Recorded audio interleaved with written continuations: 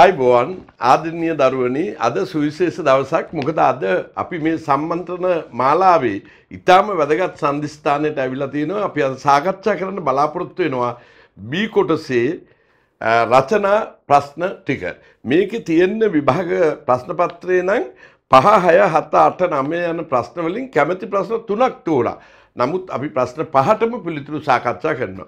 මම හිතනවා ඔගොල්ලෝ බලන්න මාර්තු 6 වෙනිදා විභාගෙට ගිහිල්ලා මේ ප්‍රශ්න ටිකෙන් අනිවාර්යෙන් ඔයගොල්ලන්ට ප්‍රශ්න එකක් හෝ කීපයක් සම්බන්ධ වෙන්න බොහෝ ඉඩකඩ තියෙනවා. අ, මොකද ඒක මම ස්ථීරයෙන්ම මට හිතන්න පුළුවන් මොකද මම ගොඩක් කල් මේ වගේ අ, අනුමාන ප්‍රශ්න ඉලක්ක ප්‍රශ්න දීපු ගුරුවරයෙක් නිසා ඉතින් මගේ ඉතිහාසය මගේ ගෝලයෝ ඒකට සාක්ෂි දන්නවා. මම නැවත ළමයින්ට මතක් කරනවා මය- මේ වීඩියෝව යට තියෙන ඩිස්ක්‍රිප්ෂන් එකෙන් ඩිස්ක්‍රිප් එකට ගිහිල්ලා ලිංක් එකෙන් පේපර් එක ඩවුන්ලෝඩ් කරගන්න එහෙම කරලා ඒ ඩවුන්ලෝඩ් කරගෙන මේක අතේ තියාගන්න එච්චරයි මට කියන්න තියෙන්නේ. අපි දැන් පස්වෙනි ප්‍රශ්නේ බලමු. ඔයගොල්ලෝ දන්නවා පස්වෙනි ප්‍රශ්නේ සම්පූර්ණයෙන් ජීව විද්‍යාව. ඒ කොටස හොඳට බලන්න රූප සටහනක් තියෙනවා. බොහෝ අවස්ථාවල සිතීමකින් සිතියම නෙමෙයි සිතීමකින් තොරව සිතියම නෙමේ වතන සිතීම. සිතීමකින් තොරව සනිකව උත්තේජවලට ප්‍රතිචාර දැක්වීමට අවශ්‍ය වේ. එවැනි අත්- අනිච්ඡානුක ප්‍රතිචාර ඇති කිරීම ප්‍රතීක ක්‍රියාවක් ලෙස සැලකේ. පහත දැක්වෙන්නේ එවැනි ප්‍රතීක ක්‍රියාවක් පෙන්වීම සඳහා සැකසූ ප්‍රතීක චාපයකි. ඔගොල්ලෝ දන්නවා අපේ ස්නායු පද්ධතිය ගැන කතා කරනකොට මධ්‍ය ස්නායු පද්ධතිය මොළය සහ සුසුම්නාවත් ඒකෙන් පැන නගින කෝටි ගණනක් නියුරෝන සෛලවල ක්‍රියාකාරීත්වය විස්මය දනකයි. ස්නායු තන්තුවක් දිගේ ආවේගයක් ගෙන- ගමන් කරන්නේ ආලෝකය ගමන් කරන වේගයටත් වඩා අඩු කාලයකදී. ඒ කියන්නේ තප්පරෙන් 10කටත් වඩා අඩු කාලයකදී. මේක විද්‍යුත් රසායනික කැළඹීමක්. මේ අවස්ථාවේ අපේ මොළය සහ සුසුම්නාවෙන් කරන සම්පූර්ණ ක්‍රියා සාමාන්‍ය උත්තේජවලට ප්‍රතිචාර දක්වන ක්‍රියාවලට අමතරව හානිකර උත්තේජවලින් ශනිකව ගාත්‍ර ඉවතට ඇදගන්න තියෙන ක්‍රියා තියෙනවා. දැන් උදාහරණ වශයෙන් ඕගොල්ලෝ රාත්‍රියේ එළියට බැස්සහම අ, සමහර විට ගෙදර දුම් අල්ලලා අ, පොල් කටු අඟුරු ටික අම්මට අමතක වෙලා විසි කරලා තියෙන්න පුළුවන්. ඕගොල්ලන්ට අඟුරක් පෑගුණොත් පෑගුණ ගමන්ම ඕගොල්ලෝ කරන්නේ කකුල ඉවතට ඇදගන්න එක.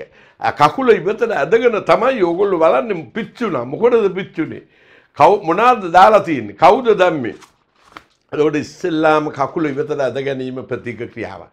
ප්‍රතික ක්‍රියාවකට ළම ශනිකව වෙන්නේ. ඒකට සම්බන්ධ වෙන්නේ වි- බොහෝ විට සුසුම්නාව. ඒ නිසා අපි මේකට කියනවා සුසුම්නා ප්‍රතික ක්‍රියා. මොළයෙන් සම්බන්ධ වන ප්‍රතික කීපයක් තියෙනවා. අපි ඒවට කියනවා කපාල ප්‍රතික, ඇසපිය හෙලීම, කටට කෙලිනීම, ඒ වගේ දේවල් කපාල ප්‍රතීක. දැන් අපි බලමු මේ සුසුම්නා ප්‍රතීකයක ආ- ආ- ප්‍රතීකයක් සිදු කරන්න අවම වශයෙන් නියුරෝන සෛල තුනක් ඕනේ. ඒ තමයි ප්‍රතිග්‍රාහක ඉන්ද්‍රිය. අපි දන්නවා ග්‍රහණය කරන ඉන්ද්‍රිය. ප්‍රතිග්‍රාහක ඉන්ද්‍රිය ඉඳලා පණිවිඩය ගෙන යන්න ඕනේ. අ, සුසුම්නාවේ පුෂ්ටිය මූලය ඇතුළට ඒ ගෙන යන්නේ සංවේදක නියුරෝනේ. සංවේදක නියුරෝනය එනම් ප්‍රතිග්‍රාහකය සංවේදක නියුරෝනේ. දැන් මේ සුසුම්නාවේ තීරණය සම්බන්ධීකරණය කරන්න ඕනේ කාරකය වෙත. ඒ කාරකයට සම්බන්ධ කරන කරන්නේ අතරමැදි නියුරෝනය අන්තර්හාර නියුරෝනේ. ඒ පණිවිඩය කාරකයට යන්නේ චාලක නියුරෝනය මෝට නියුරෝන් එකකින්. එහෙනම් නියුරෝන සෛල තුනක් තියෙනවා. සංවේදක නියුරෝනය, අතරමැදි නියුරෝනය, චාලක නියුරෝනය. ඒකෙන් යනවා කාරකයට අපේ මුළු ප්‍ර- උත්තේජ වලට ප්‍රතිචාර දක්වන කාරක දෙකයි තියෙන මිනිහට. ඒ තමයි අස්ති මේ පේශි සහ ග්‍රන්ථි. මේ දෙකෙන් අපි විශාල උත්තේජ සංඛ්‍යාවකට ප්‍රතිචාර දක්වනවා. මම ඊටාම වේගෙන්, ඊටාම කෙටියෙන් සාමාන්‍ය උත්තේජ අ, ප්‍රතික ක්‍රියා සිදුවෙන ආකාරය සඳහන් කළා. දැන් අපි බලමු මොනවාද අපෙන් අහලා තියෙන්නේ. ඊට ක්‍රියාවලිය සඳහා සහභාගී වන ස්නායු වර්ග නම් කරන්න. එහෙනම් ළමයි හරියට වැදගත්. දැන් පස්වෙනි ප්‍රශ්නේ අපි ලියන්නේ එක ඒ අනුවංකය එක මෙන්න මෙහෙම ලියන්න පැහැදිලිව.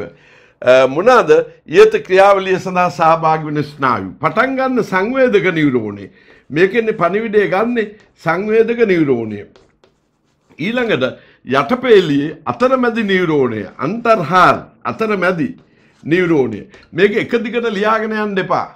ඊළඟට චාලක නිවරෝණය. මෙන්න මේ විදිහට තමයි දෙවැනි ප්‍රශ්න පත්‍රයේ උත්තර ලියන්නේ.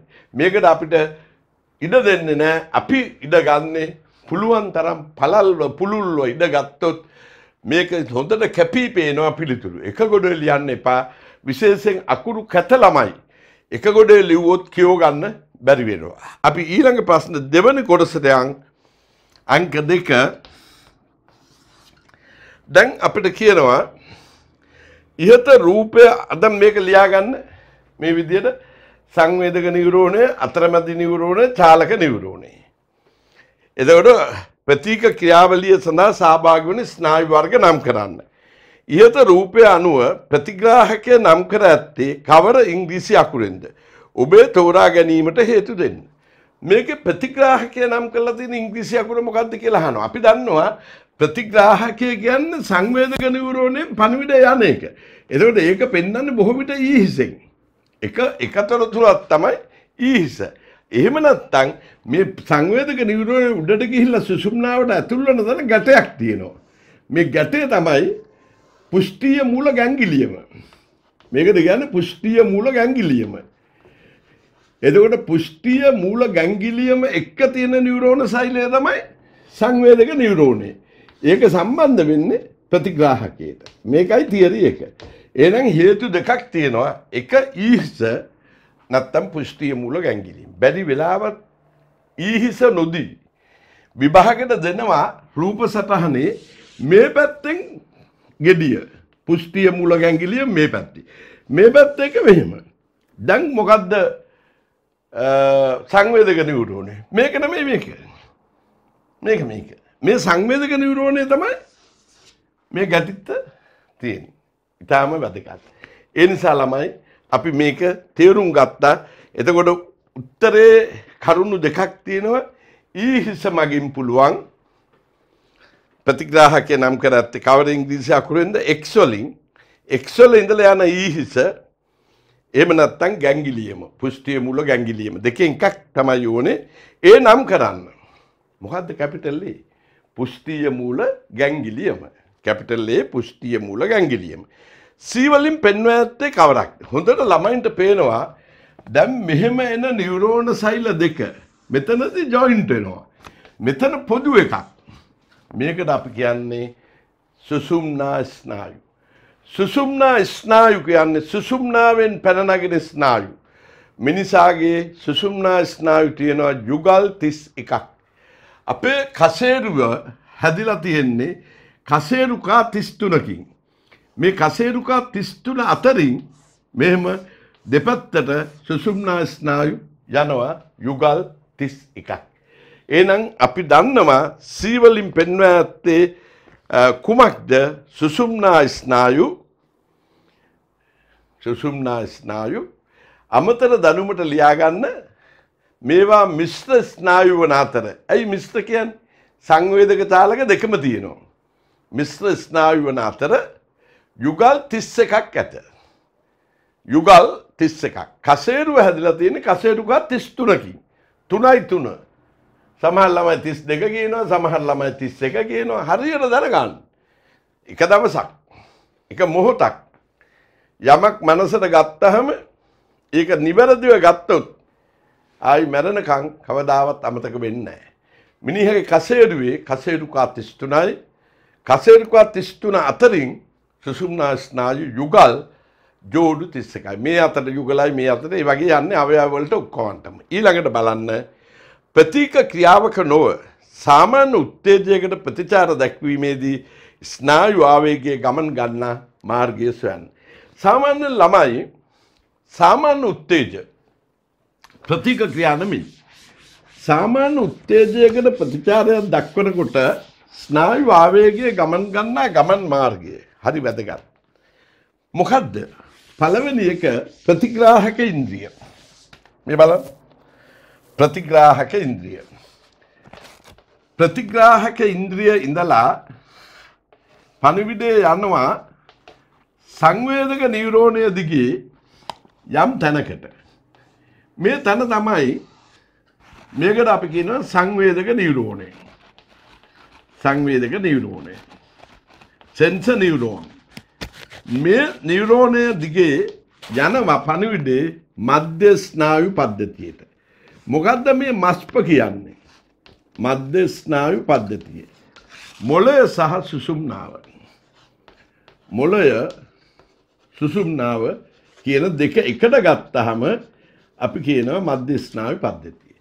මධ්‍ය ස්නායු පද්ධතියේ තීරණය ආයි එනවා චාලක නිවරෝණයට. ඒකෙන් යනවා කාරකය වෙත. එනම් මෙතන කෙලවරේ තියෙන්නේ කාරකය මේ කෙලවරේ තියෙන්නේ කාරකය. එතකොට කාරකයට යනවා. මේ ඇවිල්ලා චාලක නිවරෝණේ. චාලක නිවරෝණේ. මේ මධ්‍ය ස්නායු පද්ධතිය මොළේ සහ සුසුම්නාව. එහෙමනම් සාමාන්‍ය උත්තේජයකට ප්‍රතිචාර දක්වනකොට ස්නායුවාවිගේ ගමන් ගන්න ගමන් පතේ තැන් පහක් තියෙනවා. අතේ ඇඟිලි පහ මතක තියාගන්න. ප්‍රතිග්‍රාහක ඉන්ද්‍රිය සංවේදක නිවරෝණය මධ්‍ය ස්නායු පද්ධතිය චාලක නිවරෝණය කාරකය. ආයි මතකයිනේ ප්‍රතිග්‍රාහක ඉන්ද්‍රිය සංවේදක නිවරෝණය මධ්‍ය ස්නායු පද්ධතිය චාලක නිවරෝණය කාරකය. අපි ඊළඟට බලමු හයවෙනි කොටස. දැන් ළමයි යම් අයෙක් අඩි පහකට වඩා උසක සිට බිම වැටුණොහොත් ප්‍රතිකාර සඳහා ගෙනයා යුත්තේ ලෑල්ලක දිගා කිරීමෙනි. මේට හේතුව කුමක්. මේක බොහොම ප්‍රසිද්ධ කතාවක්. මොකද අපි දන්නවා ගොඩාක් අයගේ උඩවලින් වැටිලා ගස්වලින් වැටිලා තාප්පවලින් වහලවල් වලින් වැටිලා සදා කාලිකව ඇඳට වෙලා ඉන්නවා එක්ක කොන්ද මෙතනින් පල්හැ මුකුත් වැඩ කරන්නේ ඒ වැඩ කරන්නේ නැත්තේ සුසුම්නාව කැඩිලා. සුසුම්නාව කැඩෙන්නේ කොහොමද? සුසුම්නාවට තද හොඳ ආරක්ෂාවක් තියෙනවා කසේරුකා කසේරුවෙන්. කසේරුකා අතර ඩික්ස් තියෙනවා. මණ්ඩල. මේ මණ්ඩල අතරින් සුසුම්නාව ගමන් කරනවා. අඩි පහකට වඩා උඩ ඉඳලා වැටුනොත් වෛද්‍යවරු කියනවා කසේරුකා බිඳෙනවා. ඒ බිඳුනහම නැමෙනකොට ඒ මැද තියෙන සුසුම්නාව එතනින් කැඩිලා යන්න පුළුවන්. ඒ කැඩිලා ගියොත් දැන් උදාහරණ වශයෙන් අපි දන්නවා වයර් එකක් නැවුනට ඇතුලේ තම කම්බිය ආරක්ෂාවනේ. කම්බිය කැඩෙන්නේ නැහනේ. ඒ වගේ තමයි අපි නැවෙනකොට දිගෑරෙනකොට නටනකොට අපේ සුසුම්නාවට මොකුත් වෙන්නේ නමුත් එතන ක්‍රැක් එකක් ඇති වුණොත් කසෙරුවේ අන්න එතකොට සුසුම්නාව හානි වෙන්න පුළුවන්. ඒ නිසා ළමයි අපි කරන්නේ ලෑල්ලක දිගා කළා ලොරියක පටවගෙන ගෙනියන්න ඕන ත්‍රීවිලල් වල දාලා වහලා නවලා ගෙනියන්න හොඳ නැහැ. අවසාන කොටස මේ කෑල්ලේ B ඒ කොටසේ ස්නායු පද්ධතියේ ප්‍රධාන ඉන්ද්‍රිය දෙකෙහි ආරක්ෂක ආවරණ නම් කරන්න. ස්නායු පද්ධතියේ ප්‍රධාන ඉන්ද්‍රිය දෙක මධ්‍ය ස්නායු පද්ධතියේ මොළය මොළය කියලා ලියලා ඉස්සරහින් ලියන්න. මොකද්ද? හිස් කබල එහෙම නැත්නම් කපාලය ස්කල් එක. දෙවන එක සුසුම්නාව ඉස්සරහින් ලියන්න කසේරුව. එනම් මධ්‍ය ස්නායු පද්ධතියේ ප්‍රධාන ආරක්ෂක ආවරණ ඒ අපි කතා කළේ. ඕලමයි දැන් අපි බලමු පළවෙනි ප්‍රශ්නේ B කොටස. ඊටාම වැදගත් එක්තරා කුරුළු ගහණයක කුරුල්ලන් වර්ග ප්‍රභේද දෙකක් දැකිය හැක. කුරුළු වර්ග ප්‍රභේද දෙකක්. විශේෂයෙන් මේ ප්‍රභේද variations. එක් ප්‍රභේදයක පියාපත් තද දුඹුරු වර්ණයෙන්ද අනෙක් ප්‍රභේදයේ පියාපත් අලු පැහැයෙන්ද යුක්ත විය. මට මේ මතක් වුණේ මේ ප්‍රශ්නේ හදනකොට ඉන්දියාවේ මයින්යි ලංකාවේ මයින්යි. දැන් ලංකාවේ මයිනා තද දුඹුරු පියාපත් අතරින් පතර සුදු තියෙනවනේ ගිල්ලෙනකොට ඉන්දියාවේ මයිනා අලු පාටයි. එතකොට ග්‍රේ කලර් ඒත් වයිට් ඒක ඒ කියන්නේ ඒක ප්‍රභේද දෙකක්. එතකොට ඔයගොල්ලෝ ඉන්දියාවේ ගිය දවසක දකින්න පුළුවන් ඉන්දියාවේ මයිනා ඒ වගේම අපේ ලංකාවේ මයින ඔයගොල්ලෝ දැකලා තියෙනවා.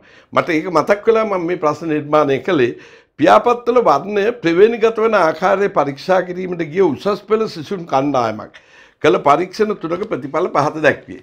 තරහ වෙන්න එපා මම මේකට සාමාන්‍ය පෙළ සිසුන් කියලා කිව්වේ නෑ. මොකද ඒගොල්ලන්ට මේ වගේ හරියක් කරන්න බෑ. පරීක්ෂණය එක තද දුඹුරු පියාපත් සහිත කුරුල්ලන් අතර ලිංගික ප්‍රජනනය කළා. තද දුඹුරු පියාපත්. එතකොට ප්‍රතිඵලය සියලු පැටවුන්ගේ පියාපත් තද දුඹුරු පැහැවිය. රිසල්ට් එක පැටව් ඔක්කොම දුඹුරු පියාපත්.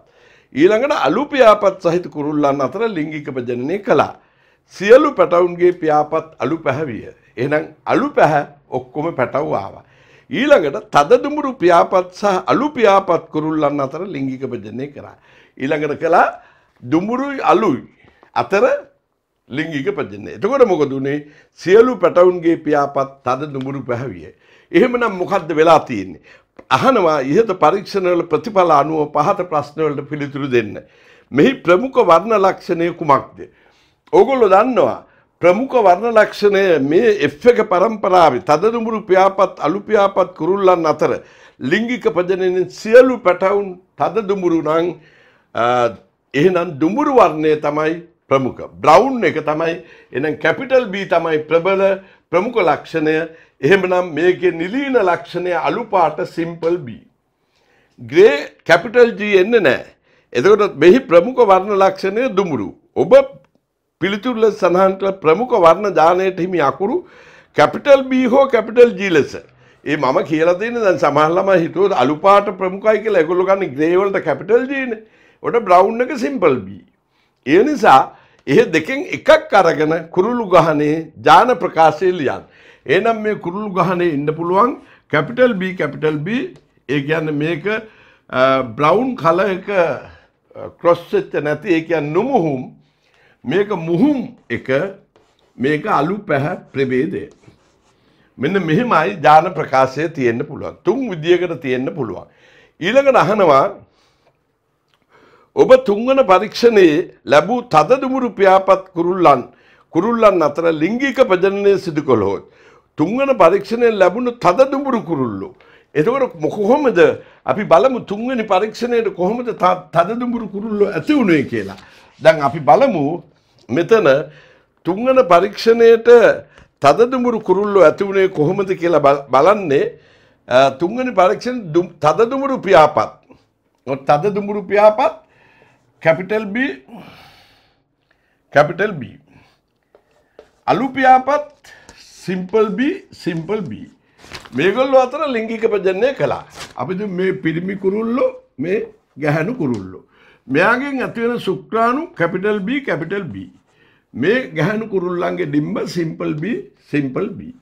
එතකොට මේ සුක්‍රාණුවක් මේ ඩිම්බයක් එක්ක එක්කහ වුණොත් මේ පැටියට එන්නේ කැපිටල් B සිම්පල් B. මේ සුක්‍රාණුවක් මේක එක්ක එක්කහ වුණොත් මේ පැටියට එන්නේ කැපිටල් B සිම්පල් B. ඊළඟට මේ සුක්‍රාණුවක් මේක එක්ක එක්කහ වුණොත් කැපිටල් B සිම්පල් B මෙතන මෙහෙම වුණොත් කැපිටල් B සිම්පල් B. එහෙමනම් බලන්න තුන්වෙනි පරීක්ෂණේ තද දුමුරු පියාපත් කුරුල්ලන් අලු පියාපත් කුරුල්ලන් අතර ලිංගික ප්‍රජනනයෙන් ඔක්කොම ලැබිලා තියෙන්නේ පැටවුන්ගේ පියාපත් තද දුමුරු. හරිනේ කැපිටල් B තියෙනවා හැම එකේම. එහෙමනම් මේක අපෙන් අහනවා ඔබ තුන්වන පරීක්ෂණයේ ලැබුණු තද දුමුරු පියාපත් කුරුල්ලන් කුරුල්ලන් අතර ලිංගික ප්‍රජනනය කළොත්. දැන් මේගොල්ලෝ මේගොල්ලෝ අතර ලිංගික ප්‍රජනනය කරනවා. දැන් බලන්න බෝඩ් එක දිහා. BB අතර. එහෙනම් capital B simple B capital B simple B අතර. දැන් මේගොල්ලෝ අතර ලිංගික පදන්නේ කොළො කොහමද? මේක ඇති වෙන්න පුළුවන් පිරිමි සතාගේ ශුක්‍රාණු කැපිටල් B සිම්පල් B. ගැහැණු සතාගේ ඇති වෙන්න පුළුවන් ඩිම්බ කැපිටල් B සිම්පල් B. එහෙමනම් මේ ශුක්‍රාණුවක් මේ ඩිම්බයක් එක්ක එක්කා වුණොත් කැපිටල් B කැපිටල් B එහෙනම් මේ කුරුල්ලා නුමුහුම් දුඹුරු මේ සුක්‍රාණුව මේ ඩිම්බේ එක්කහුණොත් මේ කුරුල්ලා මුහුම් දුඹුරු. මේකයි මේකයි එක්කහුණොත් මුහුම් දුඹුරු. මේකයි මේකයි එක්කහුණොත් අන්න අලු පාට කුරුල්ලෙක්. දැන් මෙන්න මේක තමයි රිසල්ට් එක. දැන් මේක දිහා බලලා උත්තර දෙන්න. ලියලා බලලා අපෙන් අහනවා ලිංගික ප්‍රජනනය සිදු කරන ලැබෙන පැටවුන්ගේ රූපානුදර්ශය කීයද? මේක දුඹුරු දුඹුරු දුඹුරු 3යි මේක ග්‍රේ කල එක තුනට එකයි රූපානු දර්ශය. ප්‍රවේණි දර්ශය. මේක ෆිනෝටයිප් එක. ෆිනෝටයිප් ජිනෝටයිප් කියලා ජෙනටික්සල තියෙන ටයිප් දෙකක්. ෆිනෝටයිප් කියන රූපයි රූපයෙන් පෙන්වන හරිය. ජිනෝටයිප් කියන අපිට පේන්න හැංගිලා තියෙන එක. මේක ජිනෝටයිප් එක මොකද්ද? නුමුහුම් දුඹුරු එකයි මුහුම් දුඹුරු දෙකයි අලු එකයි එනම් ප්‍රවේණ දර්ශය එකට දෙකට එකයි. එකට දෙකට එකයි. මෙතෙක්කල් ජෙනටික්සල දීපු ප්‍රශ්නය එකමද මම වෙනස් කල්ලා මේ අවුරුද්දේ අලුත් ක්‍රමය පරීක්ෂණයක් වසයෙන් ඕගලන්ට ඉදිරිපත් කළා. ඒක නිසයි මම කියන්නේ මෙසරේ ප්‍රශ්න අලුත් ප්‍රශ්න හොඳ ප්‍රශ්න තියෙනවා. ඕගලන්ට මේ ටික හොඳට කරාම මේක කළාම මේ ප්‍රවේණි විද්‍යාව පිළිබඳ උසස් පෙළ පන්තිය වැඩ කරන්න මනස හැදගහිලා ළමයින්ගේ ඉවරයි. ඒ නිසා ඕගොල්ලන්ට හොඳ ජයක් ලබා ගන්න පුළුවන්.